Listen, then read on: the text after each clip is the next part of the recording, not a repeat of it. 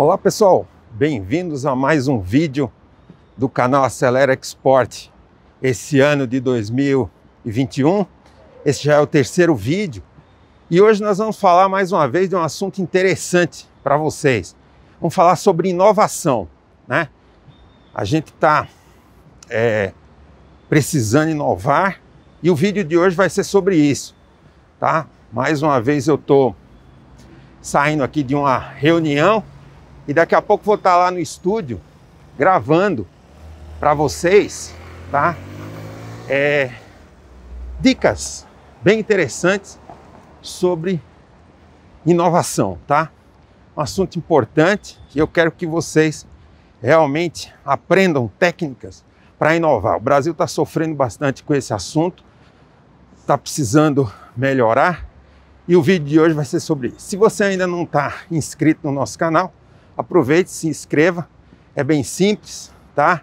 E toda semana você vai receber um vídeo como esse, com muita qualidade para você aprender a empreender no comércio internacional, tá bom? Então fica aí a dica, você procure assistir até o final o vídeo, tá? Acho que eu vou dar uma paradinha aqui antes para tomar um cafezinho aqui antes de ir para o escritório. Fica no vídeo até o final, tá bom?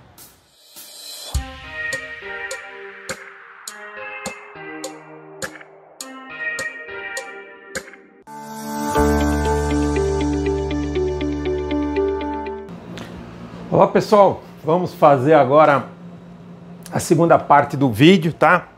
Eu tô acabei de chegar aqui no escritório e como eu falei no início da introdução do vídeo, nós vamos falar hoje sobre inovação, tá? Tema importantíssimo.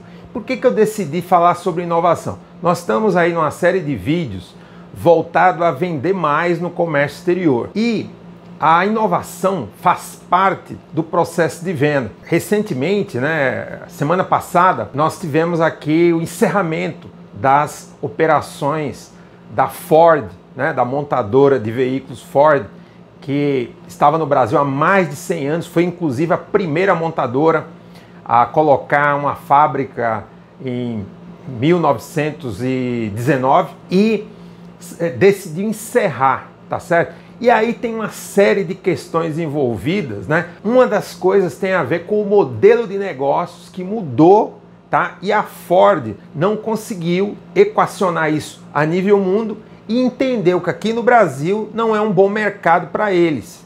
Agora, aqui o Brasil tem mercado, tem gente que quer comprar carro. O que, que aconteceu?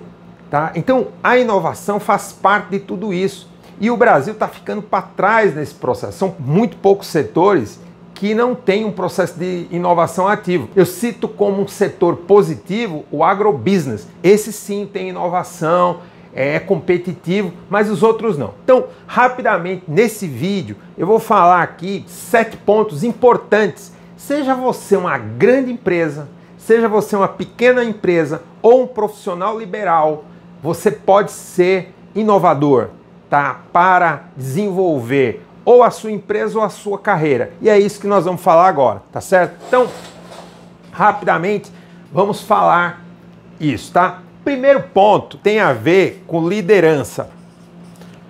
E por que a liderança, tá? Seja ela pessoal ou empresarial, você tem que querer inovar, tem que gostar, tem que gostar do novo. Normalmente as pessoas são reticentes ao novo, você precisa gostar do novo e aprender a trabalhar com o novo. Então, um líder que sempre pensa em voltar ao passado vai ter problemas.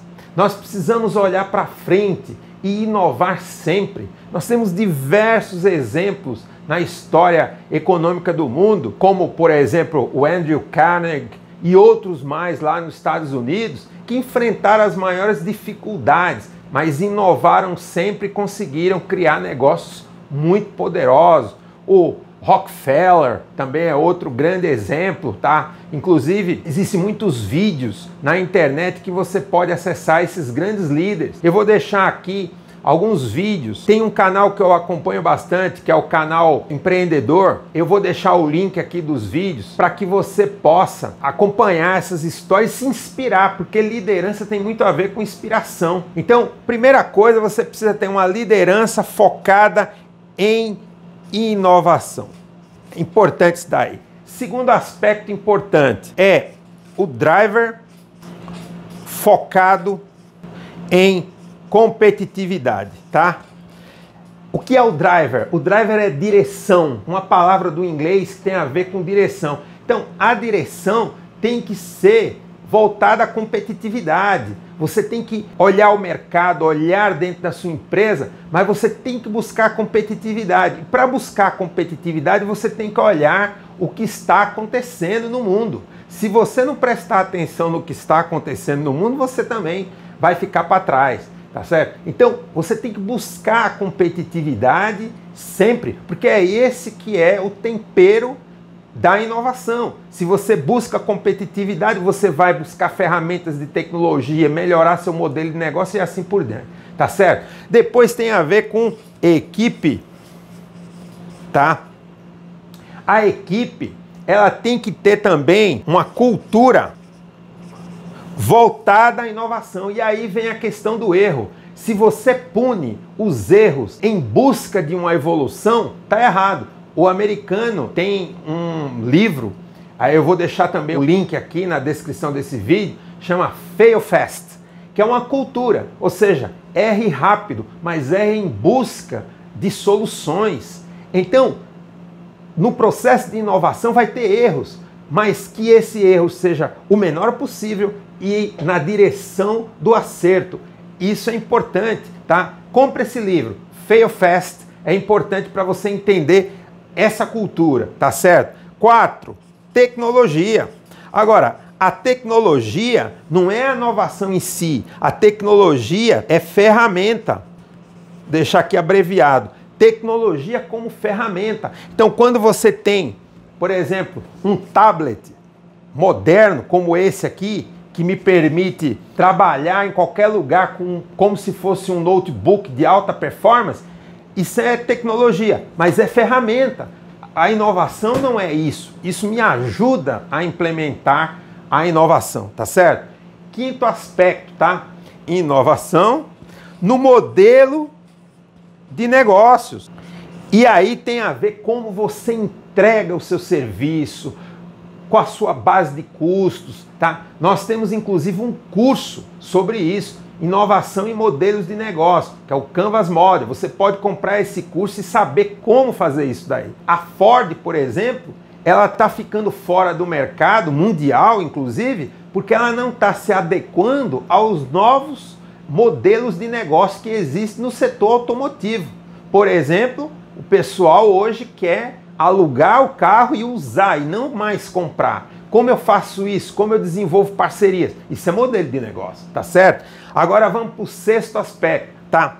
O cliente ele tem que estar no centro do processo de co-criação. O cliente tem que participar ativamente e aí você tem que ter parceiros que realmente integram, porque é o cliente que sabe, é ele que usa o seu produto. Então você tem que trazer ele para dentro da sua empresa. Então, o cliente no centro do processo de cocriação para ele opinar, porque afinal de contas é ele que vai pagar e depois vai repassar, seja uma matéria-prima ou um produto final. Então o cliente tem que estar no centro desse processo. E por último, tá, o sétimo aspecto, treinamento da equipe permanente. Há quanto tempo você não treina a sua equipe? Há quanto tempo você não se treina? Você não compra um curso, não investe num livro? Você precisa, porque só o conhecimento, a abertura de novas ideias é o que vai fazer você ser inovador e se manter nesse mundo competitivo. Tá certo, pessoal? Então, esses são sete aspectos importantíssimos, tá? Aqui a ideia não é esgotar. Participe dos nossos cursos. Ainda no primeiro semestre, nós vamos ter uma oficina de inovação em modelos de negócio e você está convidado a participar. Se você tem interesse de participar desse curso, manda um e-mail para nós, contato@acelereexport.com e diga eu quero participar. E aí, com certeza, nós vamos poder te ajudar porque são, serão horas e você vai poder praticar inclusive, tá bom? Se você gostou desse vídeo, dá teu joinha agora, compartilha também com teus parceiros de negócio e nos vemos na próxima semana, sempre com conteúdo interessante para apoiar você no desenvolvimento do comércio exterior. Tá certo? Eu mando um forte abraço, sucesso para você. Nos vemos na próxima semana. Um abraço, sucesso a todos.